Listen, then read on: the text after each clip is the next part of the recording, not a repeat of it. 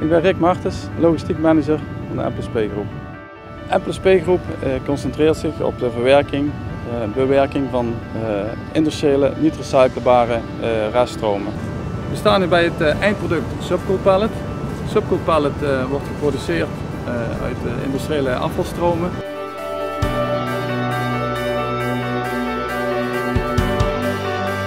De Subcool Pallets worden geladen in Delfzijl, ehm, per container in dit geval.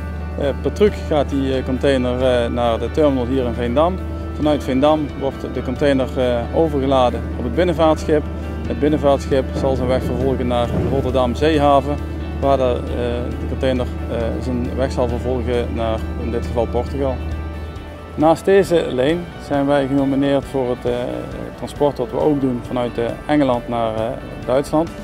Het unieke aan het eh, concept is dat eh, de 45 voet containers die normaliter eh, leeg terugkomen vanuit Engeland naar Duitsland, dat we beladen met afvalstromen die wij weer in kunnen zetten bij elektriciteitscentrale in Essen.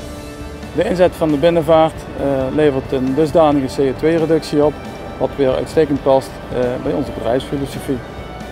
We zijn blij dat we genomineerd zijn voor de Blue Road Award.